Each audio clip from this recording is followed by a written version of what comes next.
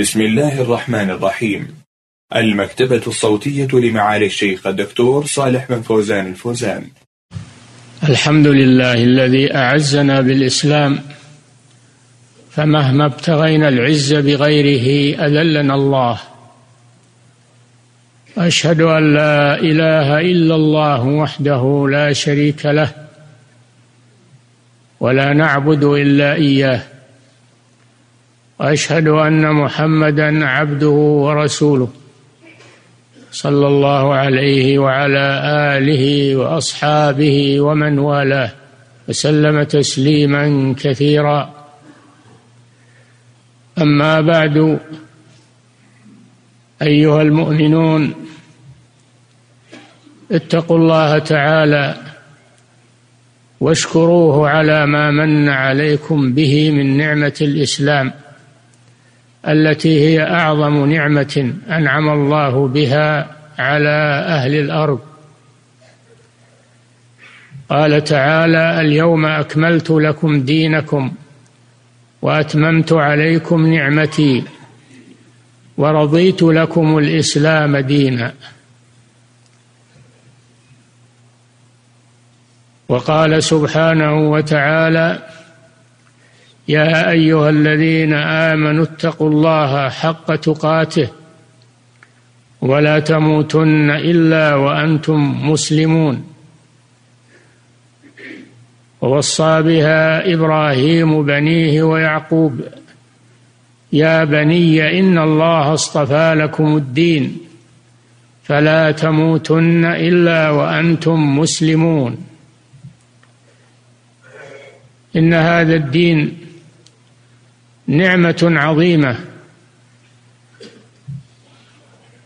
والإسلام هو الاستسلام لله بالتوحيد والانقياد له بالطاعة والبراءة من الشرك وأهله. هذا هو الإسلام.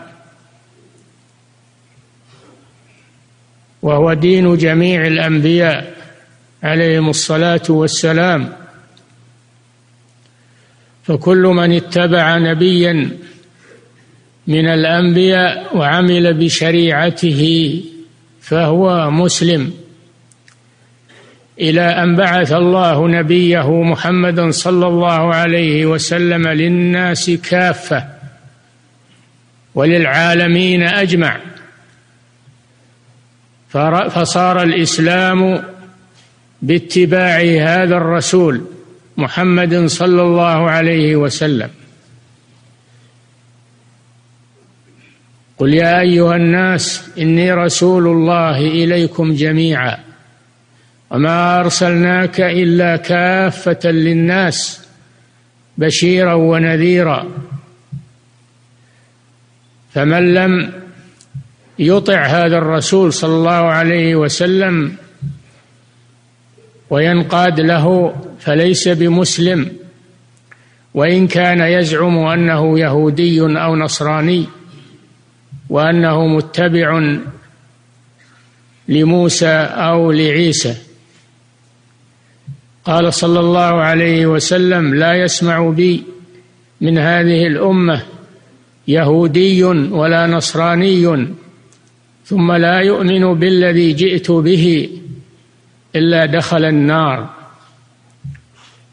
فصار الإسلام منحصرا في اتباع هذا الرسول محمد صلى الله عليه وسلم. قال صلى الله عليه وسلم والله لو كان أخي حي والله لو كان أخي موسى حيا ما وسعه إلا اتباعي. ولذلك إذا نزل المسيح عيسى بن مريم عليه السلام في آخر الزمان يكون تابعا لهذا الرسول وحاكما بالإسلام شريعة هذا الرسول صلى الله عليه وسلم لأنه هو النبي الخاتم ولأن الله أرسله للناس كافة عربهم وعجمهم كتابيهم وأم وأميهم. كلهم يجب عليهم اتباع هذا الرسول. فالذين آمنوا به وعزروه ونصروه واتبعوا النور الذي أنزل معه أولئك هم المفلحون. هذا الإسلام يقوم على أصلين الكتاب والسنة. الكتاب وهو القرآن والسنة وهي سنة الرسول صلى الله عليه وسلم. ليس له مصدر ولا أصل يبنى عليه إلا هذين الأصلين. هذين الأصلين العظيمين القرآن والسنة. يجب على المسلم أن يتمسك به على موجب ما جاء في الكتاب والسنة ولا يخترع إسلاما من عنده أو يقلد غيره ممن يدعي الإسلام وهو يعمل بخلافه. لا بد من الانقياد له بالطاعة ولا بد من البراءة من الشرك. فالذي يقول إنه مسلم ويدعو غير الله يدعو الأولياء والصالحين والموتى ويستغيث بالأموات. هذا ليس بمسلم لأنه أبطل الركن الأول من أركان الإسلام وهو شهادة لا إله إلا الله وأن محمدا رسول الله. وكذلك الذي يدعي الإسلام ويشهد أن لا إله إلا الله وأن محمدا رسول الله.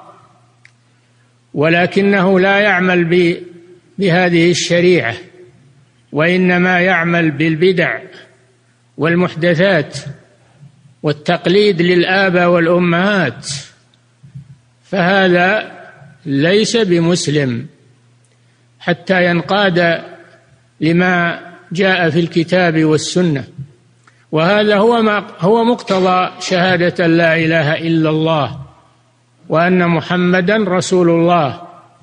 فلا إله إلا الله تنفي الشرك وتبطل الشرك بجميع أنواعه. شهادة أن محمدا رسول الله تبطل البدع والمحدثات بجميع أنواعها. وهذا الإسلام ينبني على خمسة أركان. شهادة لا إله إلا الله وأن محمدا رسول الله وإقام الصلاة وإيتاء الزكاة صوم رمضان وحج بيت الله الحرام. هذه الأركان هي الأساسات التي يقوم عليها هذا الدين. في حديث ابن عمر رضي الله عنهما بني الإسلام على خمس ثم ذكر هذه الأركان الخمسة فهو يبنى عليها. وما عداها من خصال الخير ومن أعمال البر ومن الطاعات فإنه مكمل لهذا الإسلام. فمن انتقص شيئا من الأركان لم يصح إسلامه. ومن انتقص شيئا من الطاعات والعبادات غير الأركان الخمسة فقد انتق فقد نقص إسلامه. هو لا يبطل إسلامه لكن يكون إسلاما ناقصا. قال صلى الله عليه وسلم المسلم من سلم المسلمون من لسانه ويده. المسلم من سلم المسلمون من لسانه. فلا يغتاب الناس ولا يسعى بالنميمة والتحريش ولا يكذب ولا يظلم بالكلام يظلم أحدا بأن ينسب إليه ما لم يقل أو يتقول عليه فهذا لم يسلم المسلمون من لسانه يترك الغيبه والنميمة والشتم وشهادة الزور. يطهر لسانه هذا هو المسلم. طهر لسانه من هذه الأشياء. وسلم المسلمون من يده. فلا يأخذ أموال الناس ويغصبها ويستولي عليها بالقهر ولا يختلسها أو يسرقها. بالخفية والحيل والكذب والمعاملات المحرمة فإن أموال الناس محترمة. حتى أموال الكفار غير المحاربين محترمة.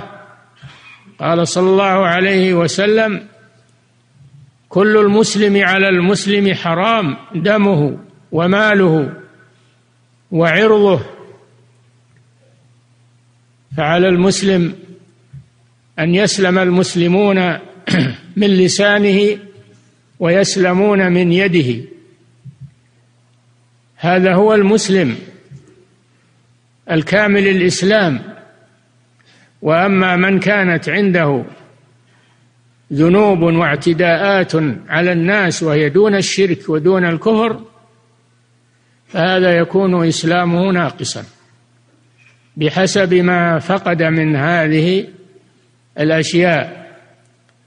فليس الإسلام مجرد الانتساب. فالذي يقول إنه مسلم ولكنه لا يصلي هذا ليس بمسلم لأنه ترك عمود الإسلام ترك الركن الثاني من أركان الإسلام بعد الشهادتين. كذلك الذي لا يزكي ماله. هذا ليس بمسلم.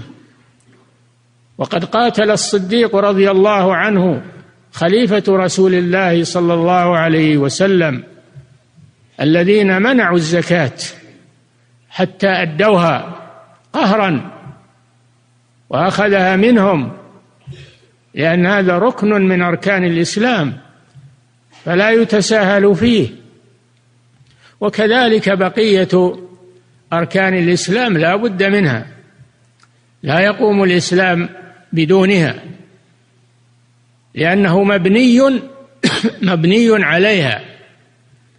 فليحافظ المسلم على إسلامه ويكون مسلما حقا كما أمر الله سبحانه وتعالى. ولا يكتفي بالإسلام بالهوية أو بالتسمي دون تحقيق دون تحقيق لذلك. فعلى المسلم أن يحافظ على إسلامه أن يحافظ على هذا الدين العظيم يتمسك به إلى الممات ولا تموتن إلا وأنتم مسلمون. لا سيما يا عباد الله والفتن اليوم عظيمة. التي تصد عن هذا الإسلام فينجرف معها من لم يثبته الله سبحانه وتعالى. كما قال صلى الله عليه وسلم يصبح الرجل مؤمنا ويمسي كافرا ويمسي مؤمنا ويصبح كافرا يبيع دينه بعرض من الدنيا.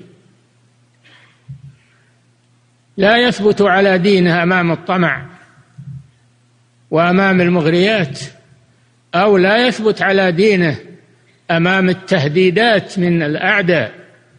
الأعداء لا يرضون عنك أن تكون مسلما. بل يحاولون أن يقتلعوك من الإسلام إلى الكفر. ودوا لو تكفرون كما كفروا فتكونون سواء. فلا تتخذوا منهم أولياء. يجب على المسلم أن يحذر من الكفار ومن دسائس الكفار. ودوا لو تكفرون كما كفروا. وودوا لو تكفرون. ولا يزالون يقاتلونكم حتى يردوكم عن دينكم إن استطاعوا. والواقع اليوم أكبر شاهد على ذلك. الدول الكافرة سخرت قواتها وجنودها لمحاربة الإسلام والمسلمين في كل مكان حتى غزوهم الآن في ديارهم. فها هي الشام. ها هي الشام والعراق ودول الإسلام أسقطوها الآن وعاثوا في الأرض فسادا. كل هذا لأنهم لا يريدون أن يبقى على الأرض مسلم مهما استطاعوا.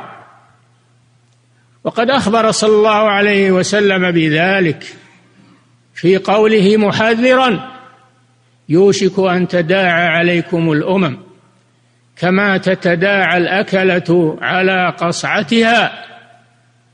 قالوا أمن قلة نحن يا رسول الله؟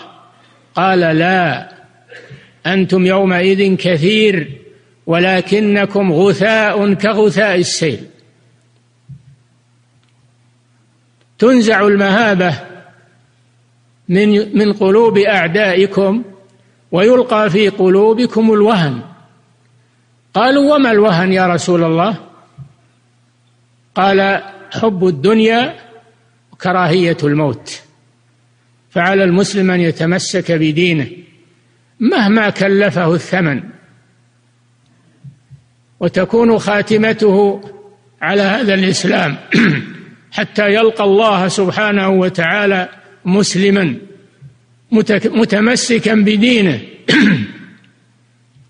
فعليكم يا عباد الله بالتمسك بالإسلام مهما كلفكم الثمن. قال صلى الله عليه وسلم لا تشرك بالله ولو قتلت أو حرقت.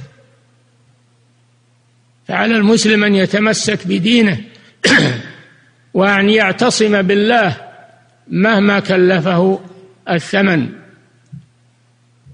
وأن يدافع عن هذا الدين مهما استطاع. وأن يدافع عن إخوانه المسلمين مهما استطاع.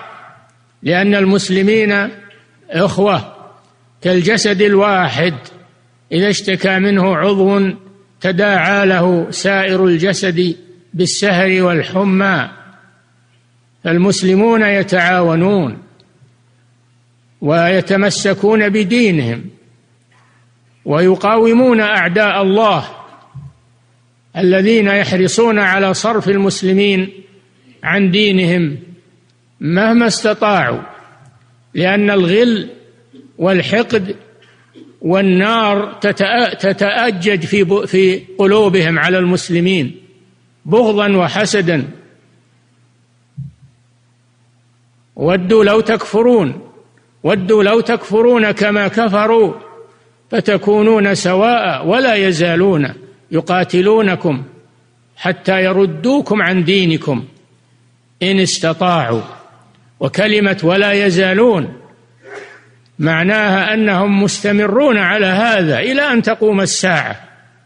لولا أن الله سبحانه وتعالى يبطل كيدهم ويخزي مكرهم إذا صدق المسلمون لدينهم وتمسكوا به واعتصموا بالله مهما كلفهم الثمن فإنه إذا أفلت أفلتت يده من هذا الدين هلك وخاب وخسر ولقي الله بغير دين نسأل الله العافية.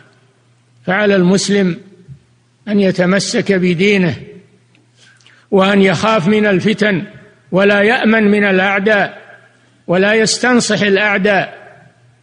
يا أيها الذين آمنوا إن تطيعوا الذين كفروا يردوكم على أعقابكم. فتنقلبوا خاسرين. بارك الله لي ولكم في القرآن العظيم ونفعنا بما فيه من البيان والذكر الحكيم.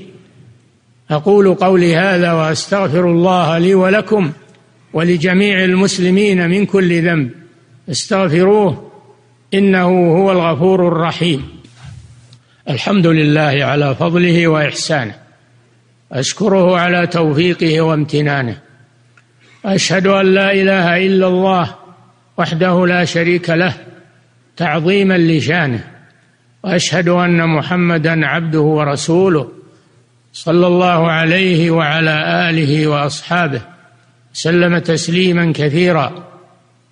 أما بعد أيها الناس إن المسلم لا يتمكن من التمسك بدينه حتى يتعلم يتعلم العلم النافع.